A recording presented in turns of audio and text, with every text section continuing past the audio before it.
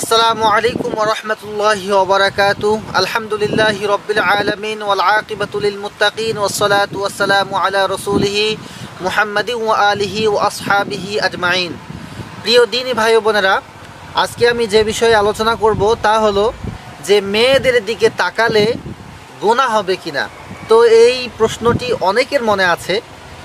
তো যাদের মনে এই প্রশ্ন আছে, ইনশাআল্লাহ আজকের ভিডিও যদি দেখেন তাহলে আপনাদের সেই প্রশ্নের উত্তর আপনারা পেয়ে যাবেন ইনশাআল্লাহ। বন্ধুরা, সর্বপ্রথম আমি বলতে চাই যে পর্দা কিন্তু ফরজ। নারী এবং পুরুষ উভয়ের জন্যই কিন্তু পর্দা করা ফরজ। তো প্রথমত যে বিষয়টা, সেটা হলো যে নারীকেও পর্দা করতে হবে, পুরুষকেও পর্দা করতে হবে।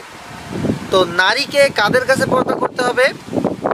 বলা হয়েছে যে যারা মাহারাম পুরুষ চোদ্দ জন মাহারাম পুরুষ আছে।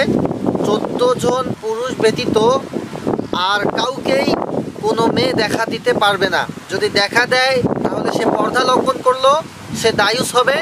সে দায়ুস হওয়ার কারণে সে জাহান নামের অধিবাসী হবে।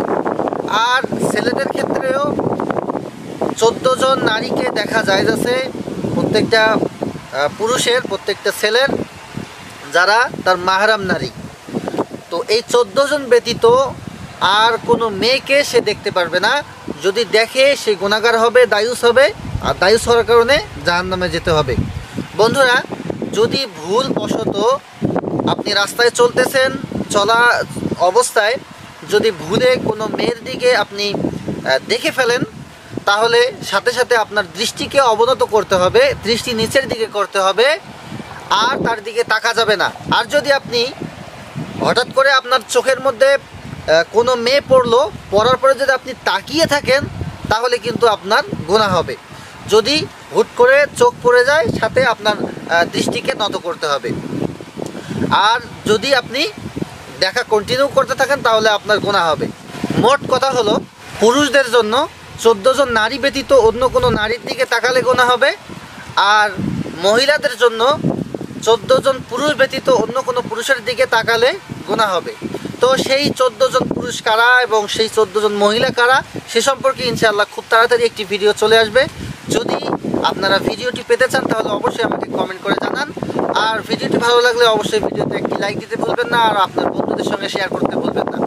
আর যদি নিয়মিত আমাদের চ্যানেলে ইসলামিক ভিডিওগুলো পেতে চান, তাহলে অবশ্যই আমাদের চ্যানেলটি সাবস্ক্রাইব করে পাশের বেল বাটনটি অন করে রাখবেন। দেখা হবে পরবর্তী কোনো একটা ইসলামিক ভিডিওতে, ততক্ষণ পর্যন্ত আল্লাহ তালা আপনাকে, আমাকে, আমাদের সকলকে ভালো রাখুন। এই আশা ব্যক্ত করে আজকের মতো বিদায় নিচ্ছি। আল্লাহ হাফেজ। আসসালামু আলাইকুম রহমতুল্লাহি অবরাকাতু